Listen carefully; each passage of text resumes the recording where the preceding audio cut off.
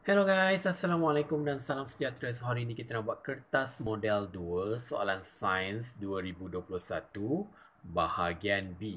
So kalau korang tengok bahagian B, soalan nombor 5 sampai nombor 10, markah yang di allocation yang diperuntukkan ialah 6 dan juga 7 markah.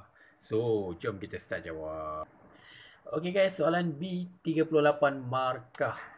So kalau korang nak dapat A, at least korang dapat 30 markah ke atas. So don't make too much mistake.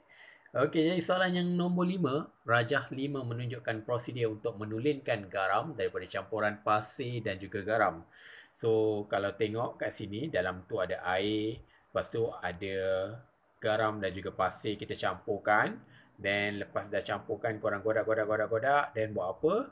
Then korang akan turas dia, korang akan tapis gunakan corong turas dan akan dapat hasil turasan.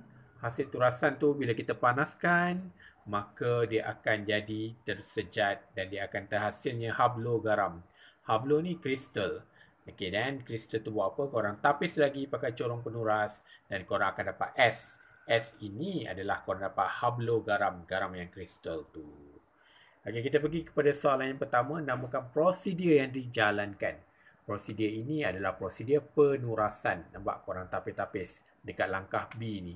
Ha, korang tapis namanya penurasan. Okey, next soalan B, nyatakan tujuan menjalankan langkah B. Kenapa kita perlu tapis? Tujuan dia adalah untuk menyingkirkan benda asing, iaitu pasir lah. Dalam soalan ini tentang pasir. Okey, langkah C, Tujuan dia buat apa? Langkah sini dia panaskan. Tujuan dia nak menyingkirkan air yang berlebihan atau proses kita namakan proses penyejatan supaya larutan menjadi tepu. Okay, next. Soalan C. Soalan C cakap nyatakan satu pemerhatian semasa penyejukan larutan dalam D. D tu bila dah lepas panaskan tu korang biarkan seketika dan dia akan jadi hablo garam.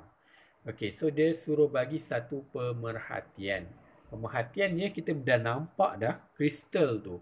Garam mula dihablokan. Hablo ni satu bahasa lain untuk menggambarkan kristal. Okey. Okey, next apakah hasil S? S ialah hablo garam tulin. Garam yang dalam bentuk pepejal tu lah kita panggil dia hablo garam tulin. Okey, next ialah soalan E. Cadangkan satu aplikasi kaedah penulinan dalam kehidupan kita.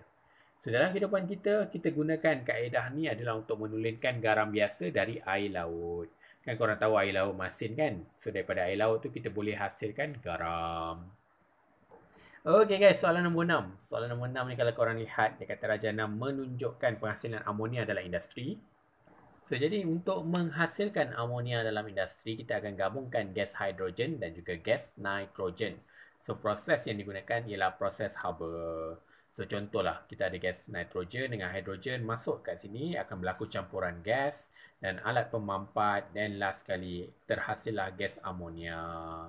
Okey, kita nak namakan proses dia ialah proses Haber.